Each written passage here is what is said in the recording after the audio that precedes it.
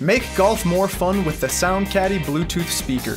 It looks like a golf club, but instead of using it to blast drives down the fairway, this club blasts your favorite music.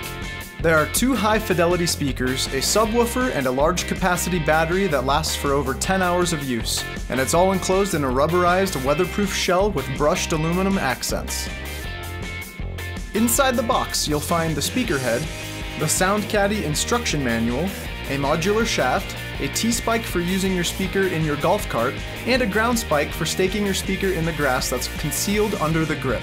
The controls on the face work like most portable Bluetooth speakers. Press and hold the multifunction button to pair with your Bluetooth enabled device. You can control the volume level and track selections right from the speaker, or you can control these levels from your phone, making it convenient to not disturb other golfers on the course. And there are dual USB outputs so you can keep your devices charged up while you play.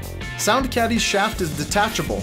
You can take the speaker head off and use the hosel T-spike to stick your speaker inside of your golf cart's T holder. This brings the music closer to you and allows you to take advantage of the dual USB outputs.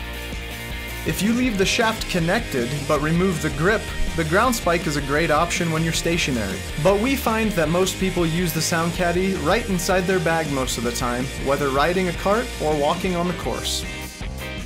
The bottom line is that SoundCaddy was made to make the great game of golf a little more fun and give you a more convenient way to enjoy your music both on and off the course. SoundCaddy. Amplify your game.